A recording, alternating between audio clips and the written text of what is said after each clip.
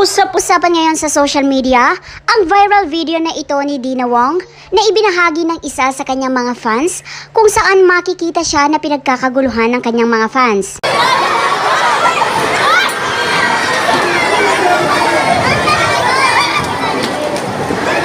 Tila ayaw nga magpaawat ng mga fans ni Dina Wong upang malapitan ang kanilang idolo at makapag-picture man lang. Makikita nga sa video ito kung paano pinagkaguluhan si Dina Wong na umabot pa nga sa punto na tila natutulak na ito. Isa nga si Dina Wong sa mga volleyball players na may pinakamalaking fans sa social media. Kaya naman, mapunta man ito sa loob o labas ng court, talagang marami ang nakakakilala sa kanya at nais siyang malapitan at makuhanan ng litrato.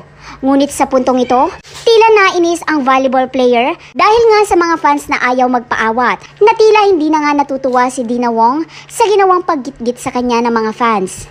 Ang videong ito ngayon ay trending na at umaani ng samot-saring reaksyon mula sa mga netizens.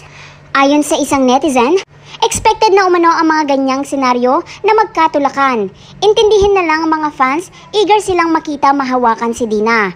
Mabilis naman itong hindi sinang-ayunan ng isa sa mga fans ni Dina at sinabing, okay lang kahit nakakasakit na sila, alangan si Dina lagi mag adjust kahit nasasaktan na. Narito naman ang ilan pang komento ng mga fans. Grabe respeto naman o, tao din yan si Boss D, tapos sasabihin nyo na naman na suplada si Boss D. Kahit naman sino if magkakaganyan maiipit, magagalit eh. Kayong mga fans din konting disiplina naman. Di nyo napapansin na sasaktan na rin yung tao. Grabe naman po, baka masaktan guys. Hinay-hinay lang okay na yan.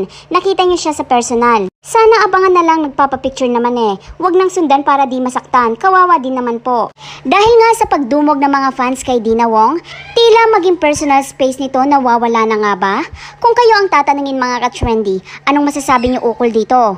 Kung kayo po ay may nais sabihin na komento, maaari kayong mag-iwan sa baba. And please hit like and subscribe button para updated ka sa mga trending news tulad nito. Thank you.